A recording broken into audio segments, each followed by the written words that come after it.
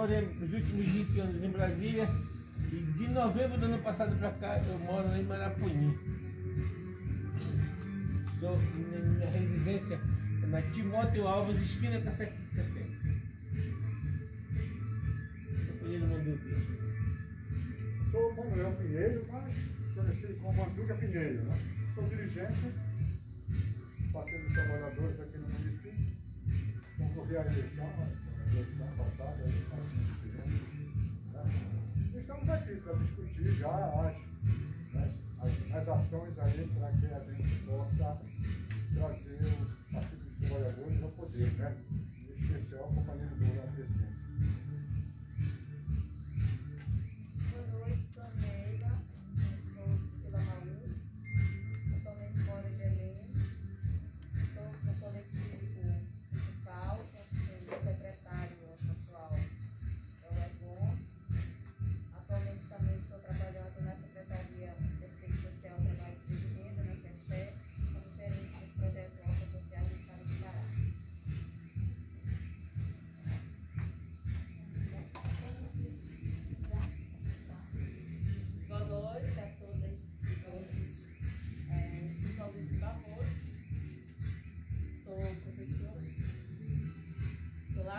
Rasezinho, rase natural.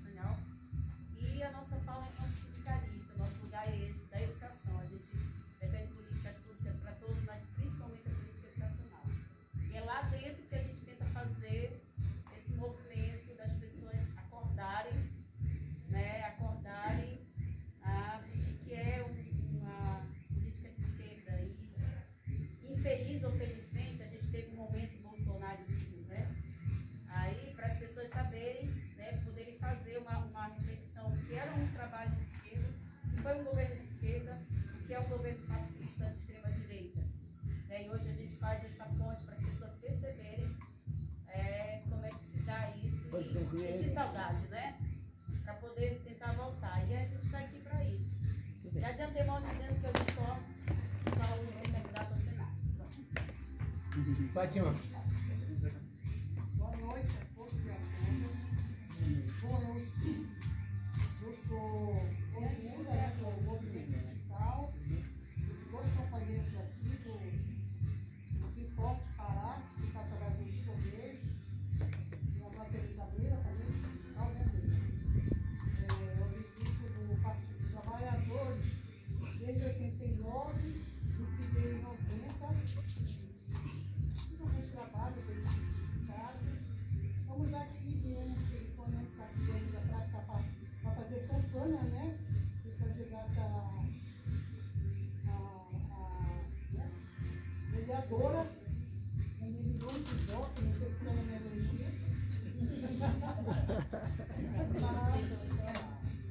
mas quero dizer para vocês que continuo nessa luta. Meu maior objetivo é a gente colocar o nosso companheiro Lula, colocar a nossa companheira também. Já, já é minha candidata, viu, Carlos? Obrigada. É, porque eu passo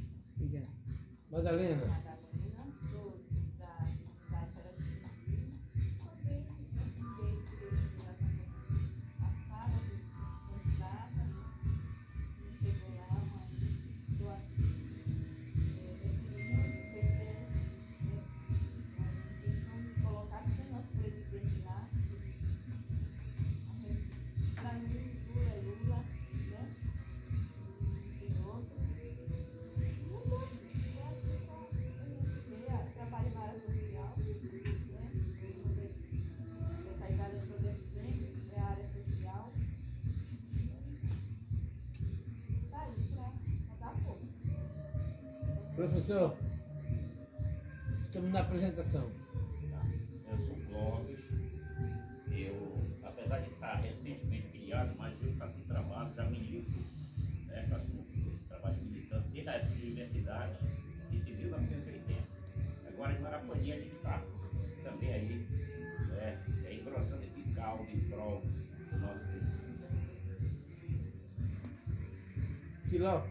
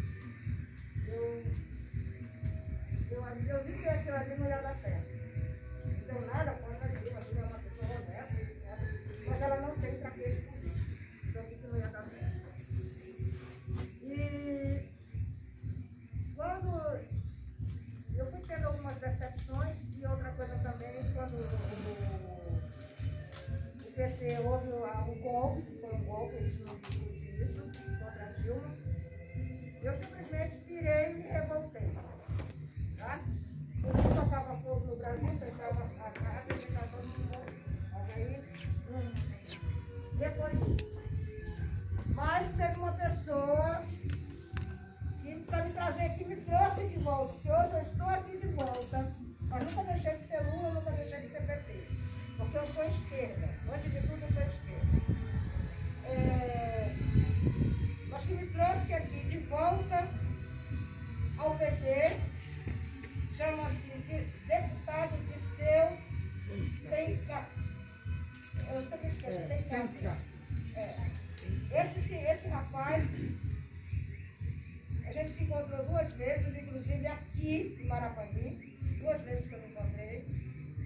E a gente tem batido muito papo através do zap, né?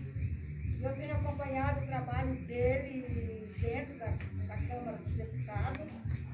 Tenho apreciado porque eu acompanho o trabalho dos deputados, não é só do PT, eu acompanho de todos. De vez em quando eu uma. Desde assistir novela, eu, eu vou, eu vou, vou falar com depois vocês. de cumprir, cumprir. É. Tá bom?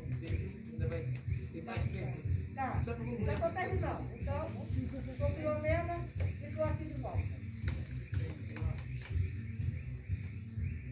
Lene, Meu nome é Marcilene, sou simpatizante do PT, né? Sou esposa do tio. Carioca, Mas sou, sou Luiz, mais conhecido como Carioca, né? Atualmente estou na qualidade de presidente da Associação Maravilhosa de Pessoas com Deficiência. Fui candidato também a vereador Zirapar, com bastante voto, né? Para dizer o contrário, né? Mas tudo bem, a gente está aqui na luta, né?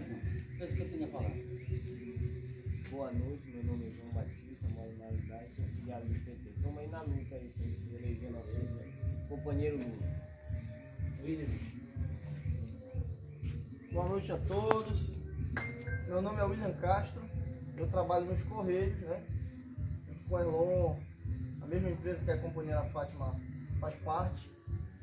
Hoje eu atuo dentro da Fentec, que é a Federação Nacional dos Correios, né? na pasta de anistia. Trabalho aí com trabalhadores que foram para a rua desde a greve de, de 79, né? Lá se vão 43 anos, tem gente que ainda não voltou.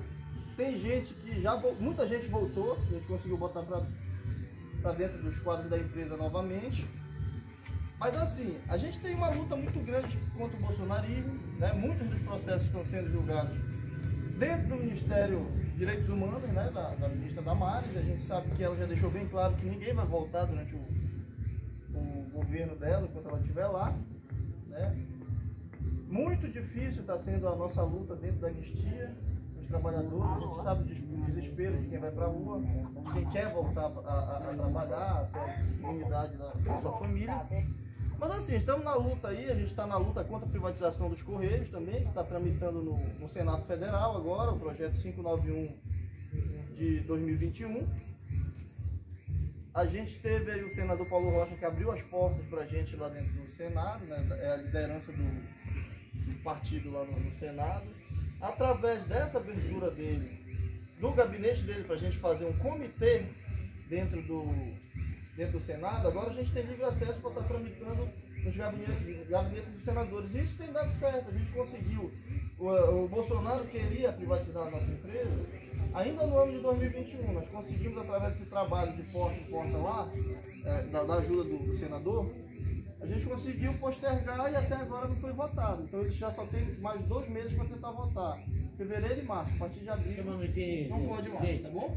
Conversa paralela, a gente vai atrapalhar gente. Companheiro ali está assim. Temos que fazer um acordo aqui. Eu vi para não. Tá? Então é isso, meu nome é William, ah, agradeço aí a todos aí por terem me escutado. É, a gente está por aí.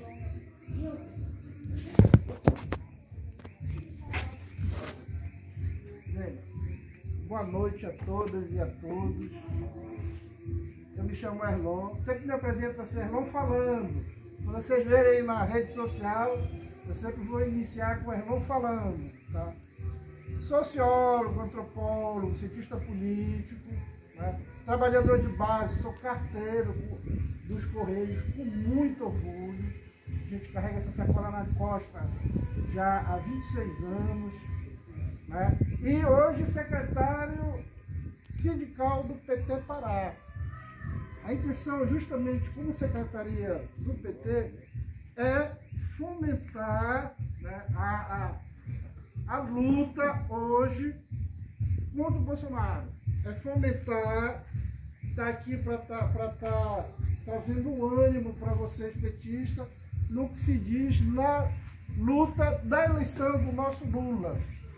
A gente sabe que Maracanã aqui é uma região importante, a gente sabe que, que é, é, é, não é porque vocês tiveram poucos votos na última eleição, porque a gente, como cientista político, vê a conjuntura como um todo, não é problemática dos votos, viu? A gente tem que olhar o nosso lado como esquerdista, a gente tem que olhar o nosso lado como a nossa moral, o que é certo e o que é errado. Todos nós aqui sabemos o que é certo e o que é errado. Todos nós somos lideranças. Então isso aí, tenho certeza que magoou muito, é, nos magoou muito, mas é a hora de, de levantar a cabeça. Né? A gente está aqui para levantar a cabeça e começar o primeiro passo numa, numa candidatura a presidente. Né? Para isso, com certeza, isso é só o primeiro passo, com certeza, é, é, nós dos nossos candidatos do PT vamos estar vindo aqui em Marapanhi, ok? A Carmen é a primeira pré-candidata, eu creio que seja a primeira a estar se apresentando diretamente para, né, para vocês que são a base do PT. A nossa importância é isso, é, é, é tentar fomentar esse contato com a base, ok?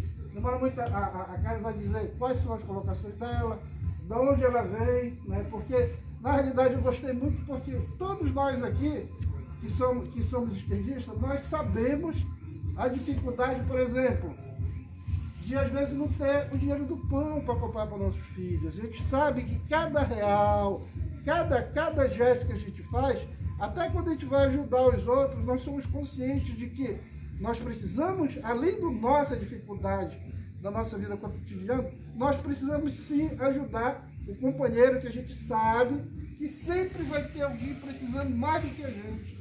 Nós, esquerdistas, temos essa noção de levar o bem sem olhar quem. Mas essas são, são nossas, é a nossa moral como esquerdista. Não é a moral, infelizmente, dessa, né, desse pessoal de centro-direita e da direita extrema.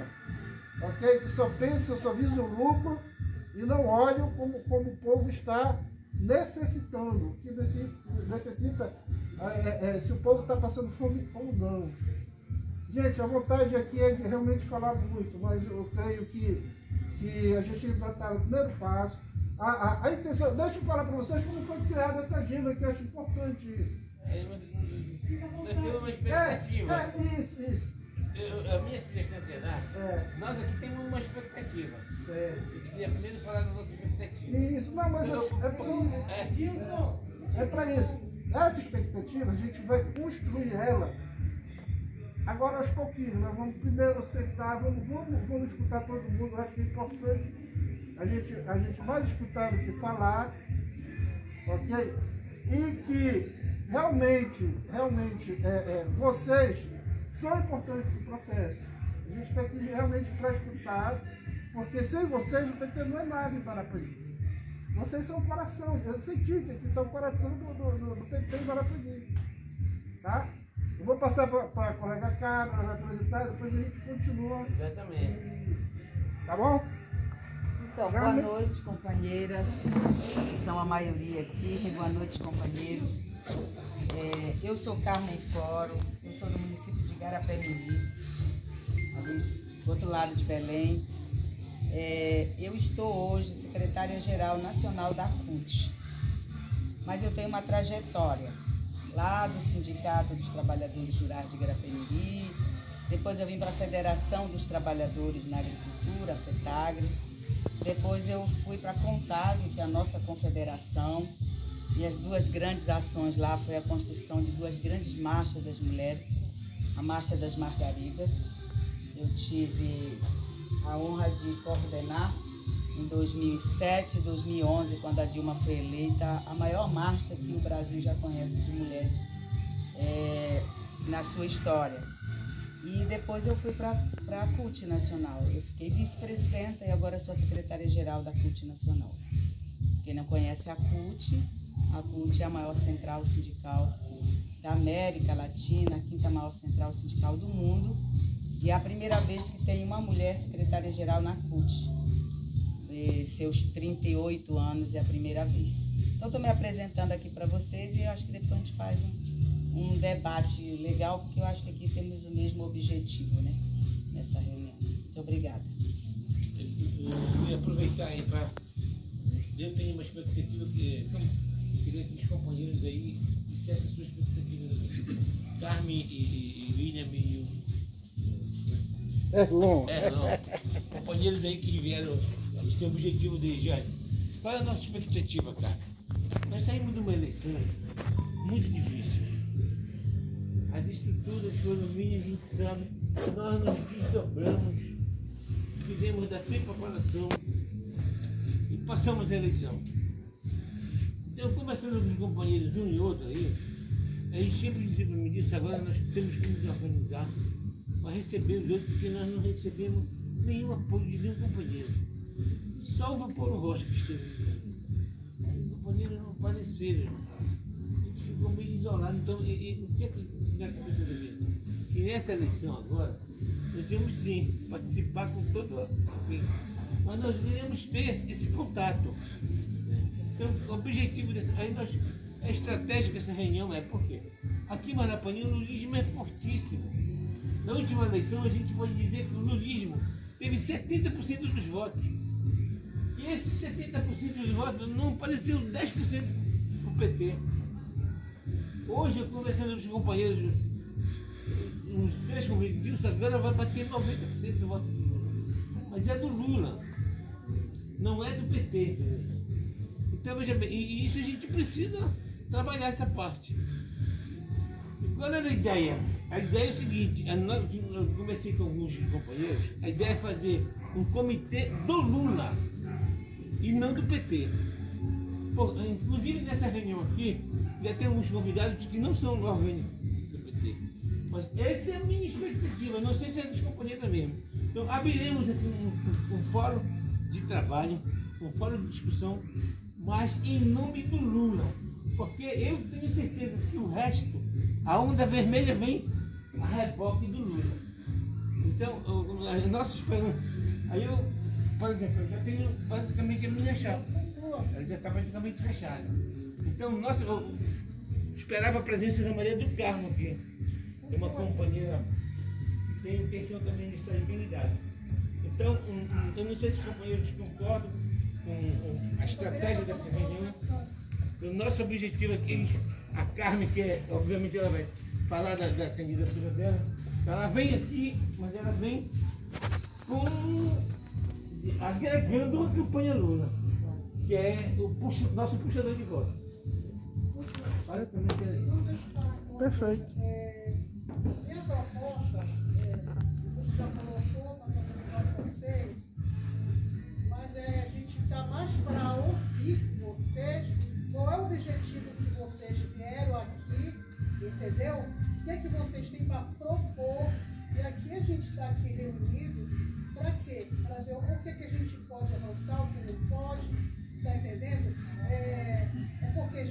passou uma campanha e todo mundo já, nós